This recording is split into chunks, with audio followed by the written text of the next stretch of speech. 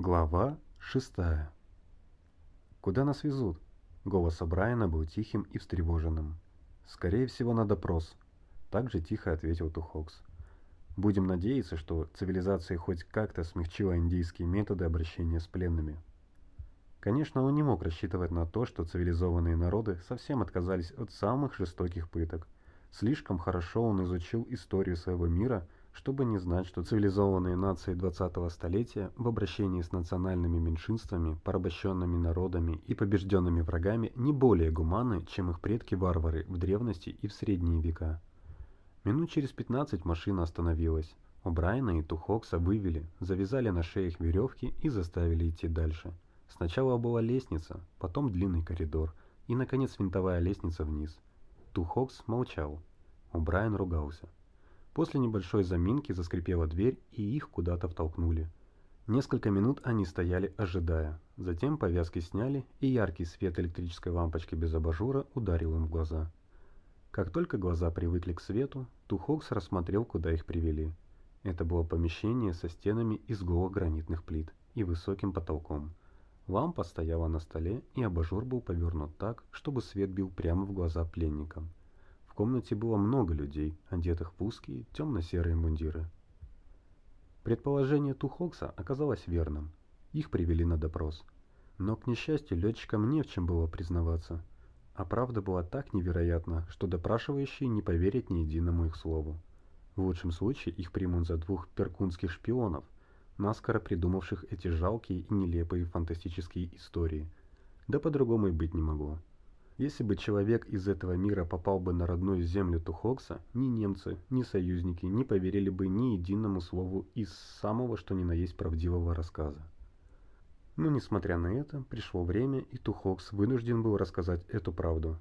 О'Брайен сдался еще быстрее. Ослабленный малярией, он снова и снова терял сознание, пока допрашивающие убедились, что он не симулирует. Они оставили его в покое и всю свою энергию и изобретательность сосредоточили на Тухоксе.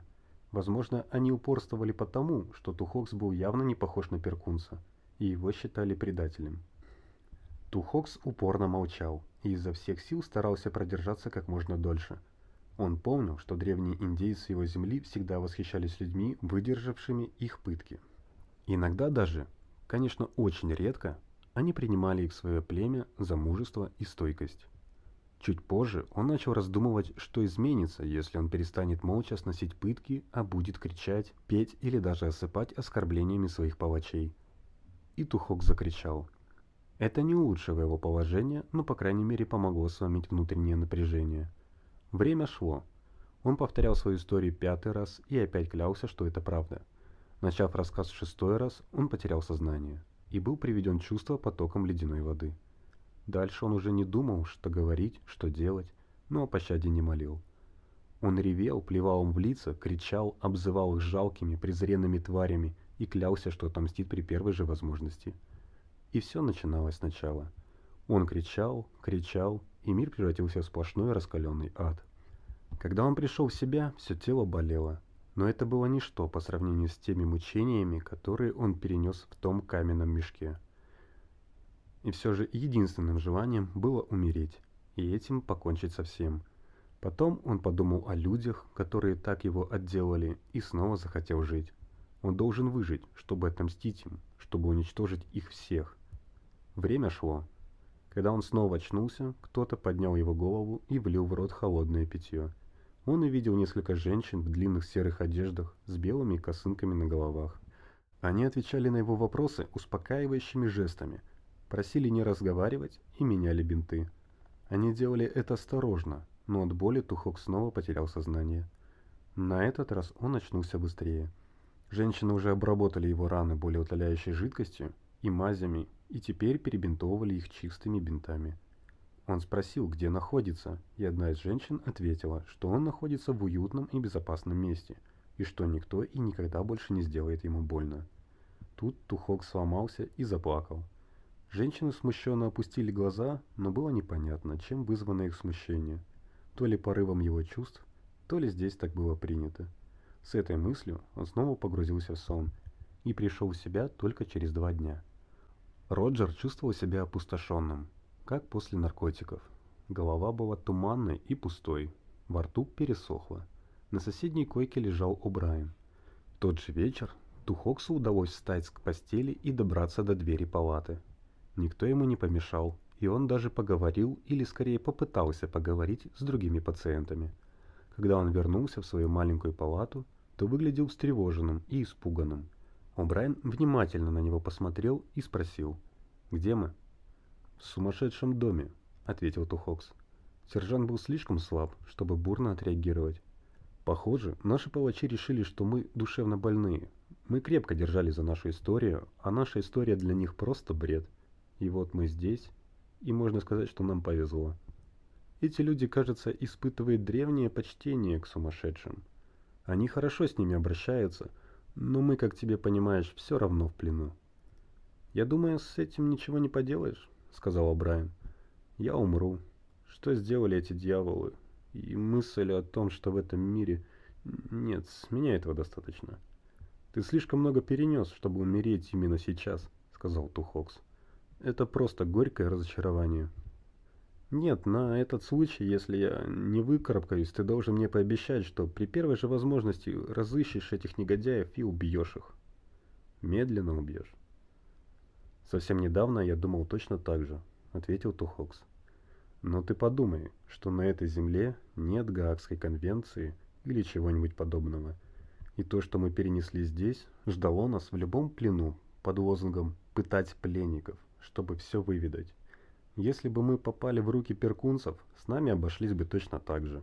По крайней мере, палачи не сделали нас калеками на всю жизнь, а могли. Но теперь самое худшее позади.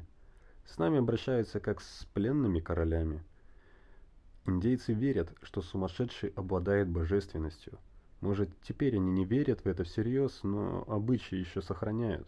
Ты должен убить их, пробормотал О'Брайен и заснул. К концу следующей недели Тухокс почти полностью поправился. Ожоги все еще не зажили, но ощущение, что с него заживо стирают кожу, больше не преследовали. Постепенно он подружился с директором этого заведения, дружелюбным, высоким, худым мужчиной – по имени Таре.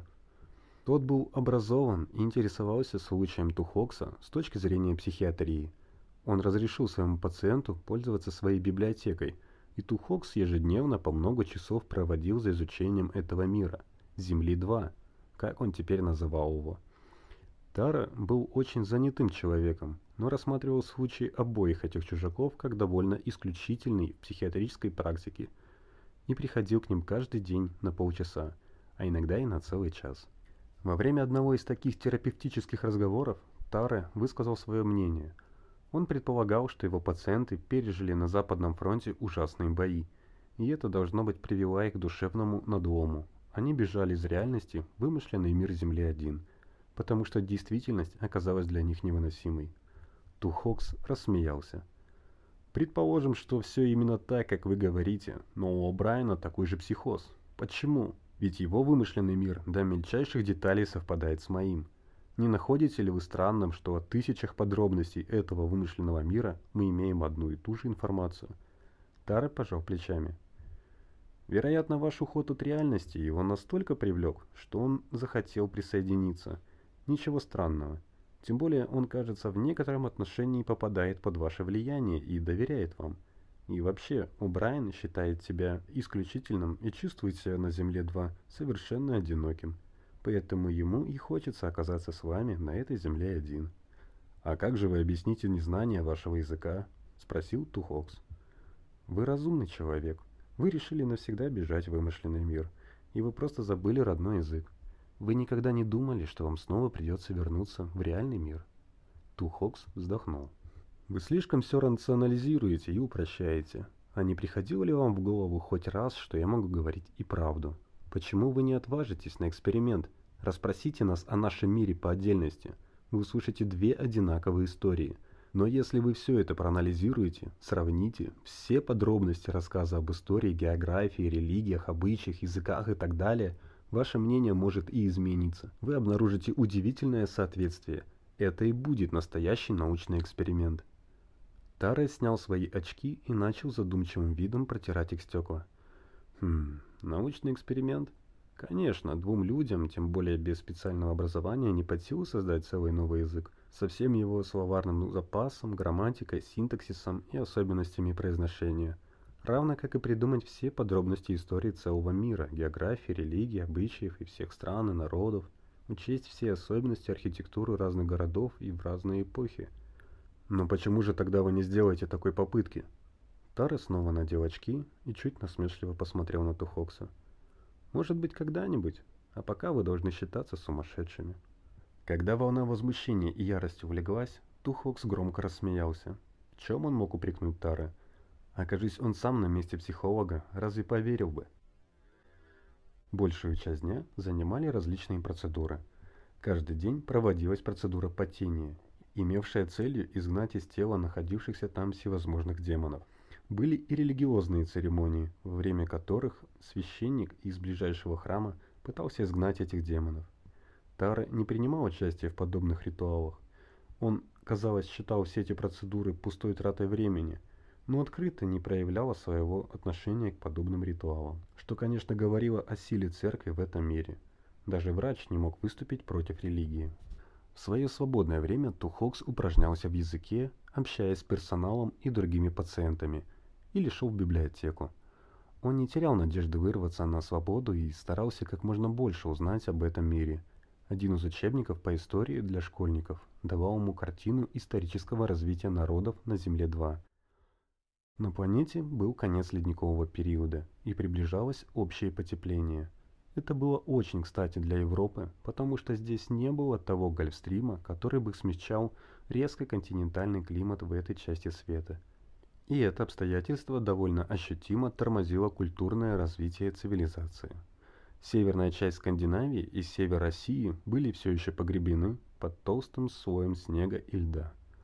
Много тысячелетий индийские племена все новыми и новыми волнами устремлялись из Сибири и Центральной Азии в Восточную Европу, покоряя и порабощая находящиеся там народы, или сами покорялись им – Обычно покорители и поработители со временем ассимилировались, но кое-где индейцам удалось привить свой язык и культуру коренному белому населению. Это произошло, например, в Гатинозонии и в одной из областей Чехословакии, которая в этом мире называлась Кинуки-Кунг, и дальше была полуавтономной области Перкунии. Историческое развитие на Земле-2 напоминало Тухокса наступление на запад гуннов, аваров, кушанов и монголов на его родной земле один. Развитие же Малой Азии в этом мире так и осталось для Тухокса неясным. В Турции на земле 2 говорили на хетском языке и других индоевропейских наречиях, а западные турки ушли на юг, распространяя свою культуру в Северной Индии. Германские племена, теперь немногочисленные и ослабленные ледниковым периодом, в ранние времена покорили британские острова и Ирландию – Следующие волны переселения сопровождались продолжительными войнами, так что Англия в конце концов стала называться Пладландией, кровавой страной. Племя Ингвинитау наконец-то смогло захватить господство над этой страной, но вскоре началось новое вторжение из Дании, Норвегии и Фризландии, и именно из-за него нападение норманов на Земле-1 выглядело не таким значительным, как было здесь. В течение двух поколений половина населения Дании и Норвегии переселилась и осела в Бладландии. Долгое время там правили датские короли. В этот период появилась Ирландия, Норландия, Шотландия, Бладландия, Третираноландия, Нормандия, Южная Скандинавия и Бретония, известные как Шесть Королевств. В таком виде они оставались до нового времени – в этих шести государствах говорили на более или менее различных диалектах архаичных северных языков ингвинитао, но при общении чаще всего пользовались основной формой господствующего языка. Ее изучение для Тухокса стало равносильно изучению совершенно неизвестного ему языка.